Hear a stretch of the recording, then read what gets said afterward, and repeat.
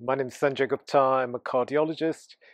Right, um, it is somewhat ironic that I'm doing this video in the dark because this video is actually about vitamin D and its effects on the heart.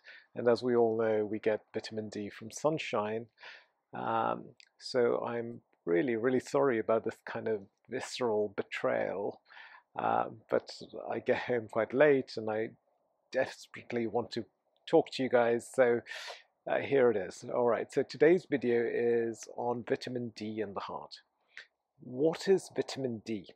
Vitamin D is a fat-soluble vitamin made in the skin when it is exposed to sunlight. Vitamin D is important for bone health, calcium balance, and immune function. It is also thought to have effects on the cardiovascular system because vitamin D receptors have been found in blood vessels heart muscle, and immune cells. Why the interest in heart health? Because there have been observational studies which have linked low vitamin D levels to high blood pressure, diabetes and metabolic syndrome, coronary artery disease, heart failure, and increased risk of death. These associations raised hopes that supplementing vitamin D might therefore protect the heart. But the problem with this is you have to prove that. You have to prove that correlation equates to causation. So there have been some clinical trials trying to study this, and there have actually been some large randomized trials. One of them was called VITAL, V-I-T-A-L, but there have been others as well. And they have tested vitamin D supplements in tens of thousands of people.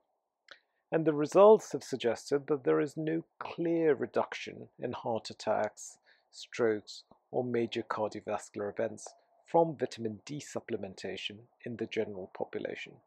In other words, low vitamin D is probably a marker of poor health rather than a direct cause of heart disease.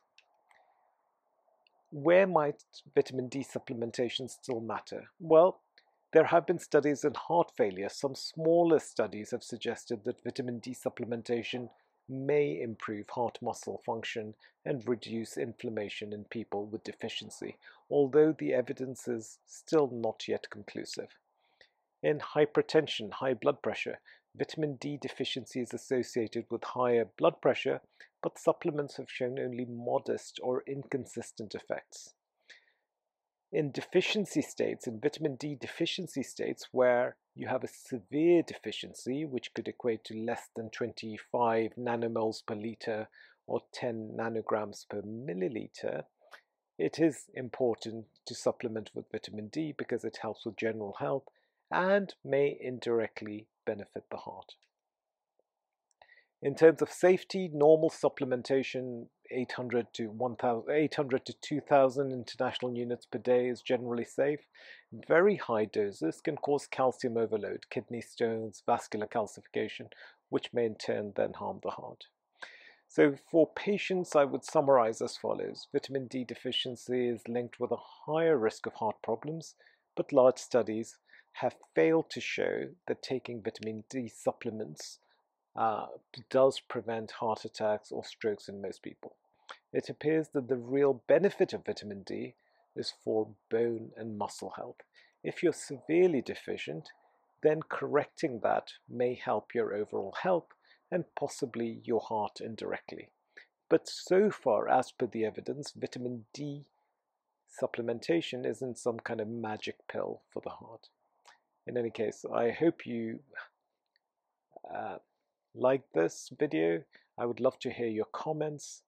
Um, of course, with everything, you know, new evidence accrues all the time and changes how we think, so it's worth watching this space.